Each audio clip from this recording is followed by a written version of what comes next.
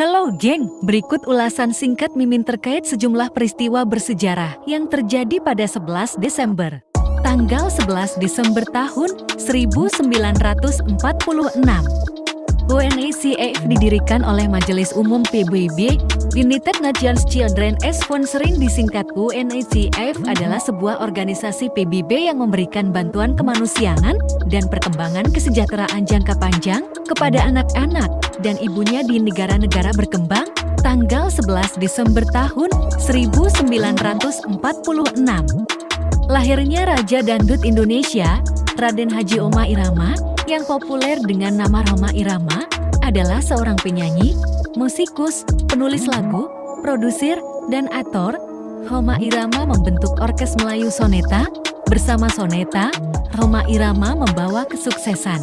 Tanggal 11 Desember tahun 2008. Meninggalnya Menteri Luar Negeri Indonesia ke-13, Dr. Ali Alatas, Beliau adalah seorang diplomat Indonesia yang pernah menjabat sebagai Menteri Luar Negeri Republik Indonesia pada tahun 1988 sampai tahun 1999 di bawah Presiden Soeharto dan B.J. Habibie